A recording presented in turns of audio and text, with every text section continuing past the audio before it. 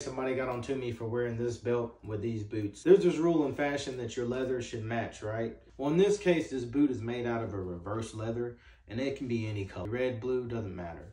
When that happens, you still want to match your leathers. You want to match your belt with the outsole of your boot.